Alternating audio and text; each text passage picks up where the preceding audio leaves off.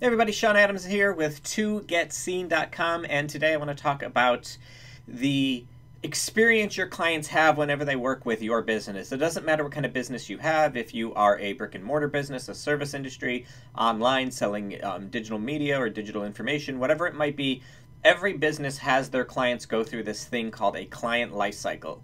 And there are nine stages to that client life cycle. And over the next couple weeks, I'm going to be giving you some more in depth information about the nine stages of the client life cycle that every client goes through with it, no matter what the business is. But before we go into that, I want to go over kind of the three overarching uh, categories that these three things fit into. So the number one one is attract. This is about finding your clients. This is the prospective clients. This is about knowing who they are, where they hang out, making sure that they know you exist, getting somehow your ideal client connected to you. So this is the process.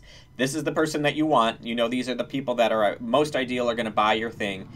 You find out where they hang out and then you give them an opportunity to connect with you and help them know that you have what they need. The next stage, which is the sell process, this is that second stage of the client lifecycle, or the second um, overarching category. And it's actually the three middle stages of the client lifecycle. This is sell, and it doesn't start with just processing money. This is all about getting them to know, like, and trust you.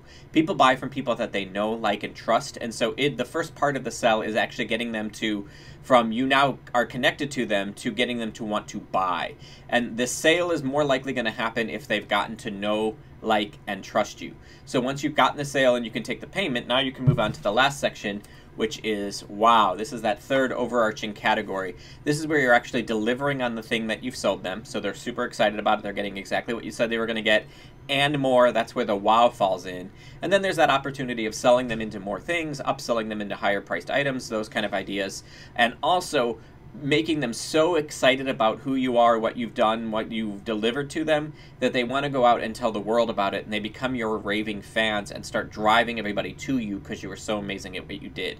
That's that last last stuff. So it's attract, sell, and wow. Those are the three overarching categories, and over the next couple weeks, I'm going to go over each category into details, and then also each of the nine stages of the client lifecycle. So just keep checking back. We're going to have new information every day. We're going to give you guys um, some really good, clear information about how all this works, so that you can build a better business and have a more clients coming in that already love you, know, like, and trust you, and that you're converting folks quicker, faster, and at a higher price point. Hope you're well. Have a good one. Cheers.